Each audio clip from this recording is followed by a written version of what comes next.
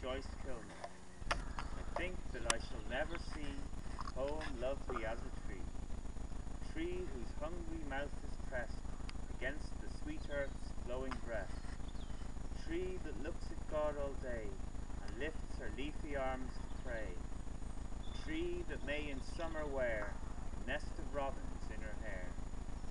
Upon whose bosom are made by fools like me, but only God